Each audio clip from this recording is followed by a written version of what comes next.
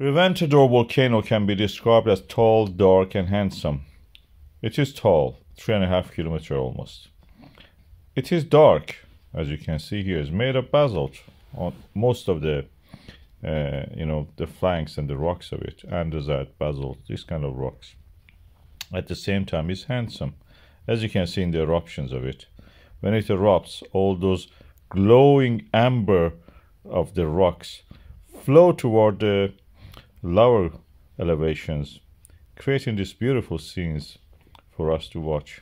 Something that we can see, you know, from a safe distance and enjoy. if you're close to it, that's not so much pleasure in that.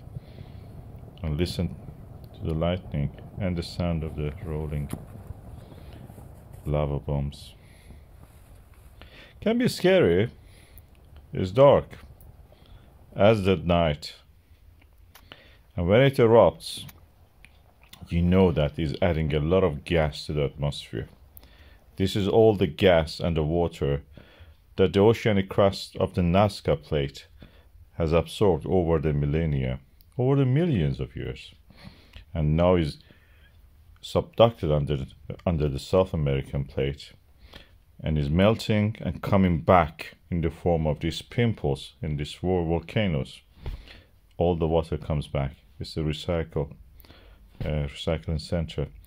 In a way, it's a conveyor belt.